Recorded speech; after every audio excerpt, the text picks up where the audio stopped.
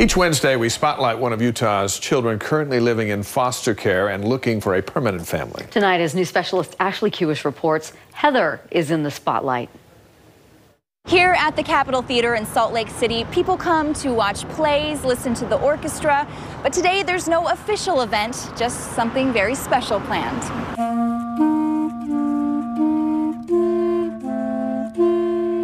Playing music is like escaping into a whole other world.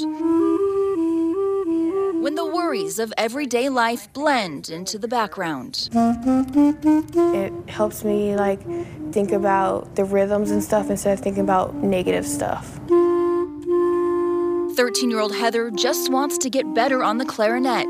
See if that wiggles. So she's getting a little help from a musician with the Utah Symphony. She was teaching me how to roll my finger up onto my A because I was doing from my F sharp just lifting my finger up and it was hard for me to get down to my high notes.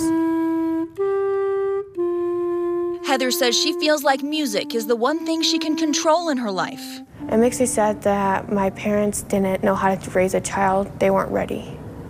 She's been in foster care ever since. She's watched as her younger sisters got adopted. It makes me feel like, wow, so they just want little kids.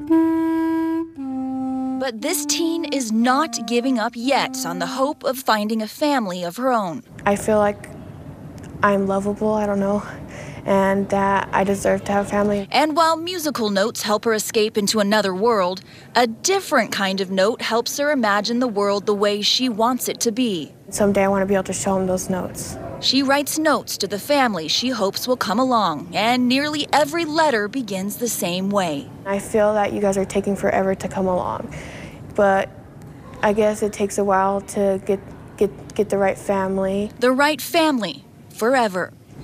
And I don't know, like it's just hard. For Wednesday's Child, I'm Ashley Kewish, KSL 5 News.